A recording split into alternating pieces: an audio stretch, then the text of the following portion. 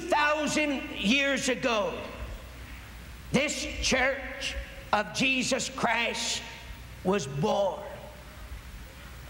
It was not born weak.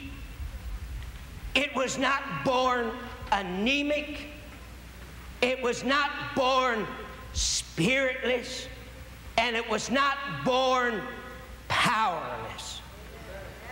2,000 years ago, when this church of Jesus Christ was born, it was born with a divine, unique characteristic.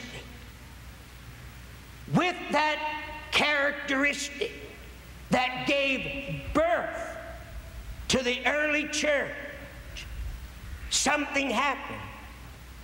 The church of Jesus Christ, in the first 200 years, between the first and the second century, the church of Jesus Christ was able to reach their entire known world. Did you know that?